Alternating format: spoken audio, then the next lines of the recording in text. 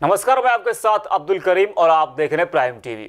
उत्तर प्रदेश के मुख्यमंत्री योगी आदित्यनाथ का आज जन्मदिन है। हालाँकि सीएम योगी जन्मदिन नहीं मनाते, लेकिन लोग उन्हें जन्मदिन की शुभकामनाएँ देते हैं और वो उसे स्वीकार भी कर लेते हैं। सभी को मालूम है कि उन्होंने अपने युवा अवस्था में ही सब कुछ त्याग कर योगी बनने का फैसला लिया था। ऐसे ही कुछ मज़ेदार वाक्य उनकी ज़िंदगी से जुड़े हुए हैं।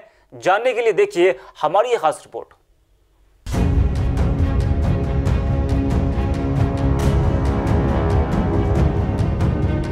उत्तर प्रदेश के मुख्यमंत्री योगी आदित्यनाथ का आज उनचासवा जन्मदिन है। हर साल की तरह इस बार भी वे बगैर किसी आयोजन के रोज़ाना की तरह बैठक करेंगे।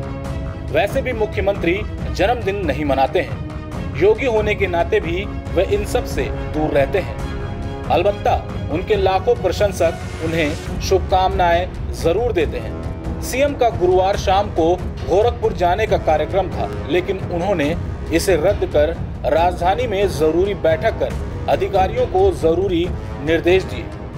उत्तर प्रदेश के सीएम के साथ साथ योगी आदित्यनाथ, गोरखपुर के प्रसिद्ध गोरखनाथ मंदिर के महंत भी हैं। इन्होंने 19 मार्च 2017 को प्रदेश के विधानसभा चुनावों में भारतीय जनता पार्टी की बड़ी जीत के बाद यूपी के 21वें मुख्यमंत्री पद की शपथ ली। योगी आदित्यनाथ उन्नीस से 2017 तक भारतीय जनता पार्टी के टिकट पर गोरखपुर लोकसभा क्षेत्र का प्रतिनिधित्व कर रहे हैं और 2014 लोकसभा चुनाव में भी यहीं से सांसद चुने गए थे।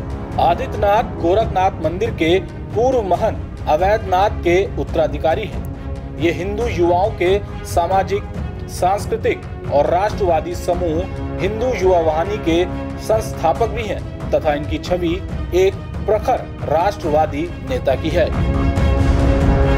योगी आदित्यनाथ का जन्म 5 जून 1972 को उत्तराखंड के पौड़ी गढ़वाल ज़िले स्थित यमकेश्वर तहसील के पंचूर गाँव में योगी आदित्यनाथ का जन्म हुआ था। उनके पिता आनंद सिंह बिष्ट फॉरेस्टर रेंजर थे। उनकी माता का नाम श्रीमती सावित्री देवी है। शिक्षा के दौरान ही योगी ने राम जन्मभूमि आंदोलन के सदस्य के रूप में अपने सार्वजनिक जीवन की शुरुआत की और इसी दौरान गोरखपुर में उनका परिचय गोरक्ष पीठ के महंत अवैधनाथ से हुआ।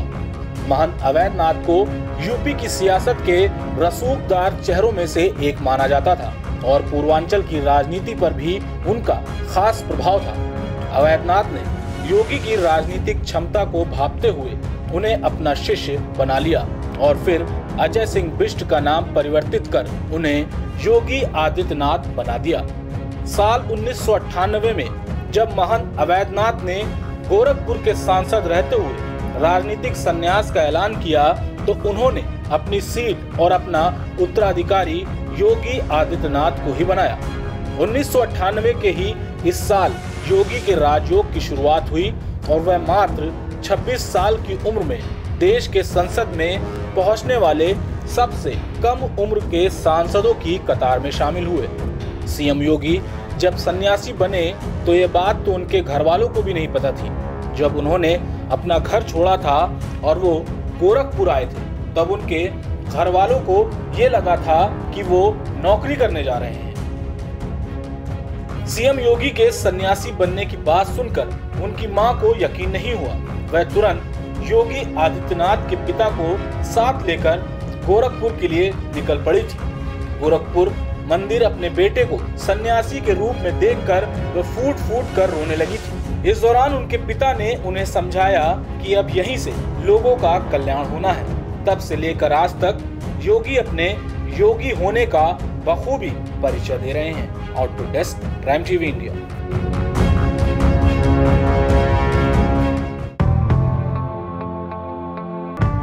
Kashmir से लेकर कन्याकुमारी तक। गुजरात से लेकर अरुणाचल तक। सत्ता के गलियारों से खेल के मैदानों तक। नहीं छूटती कोई खबर। सबसे सटीक सबसे दमदार सिर्फ़ प्राइम टीवी पर।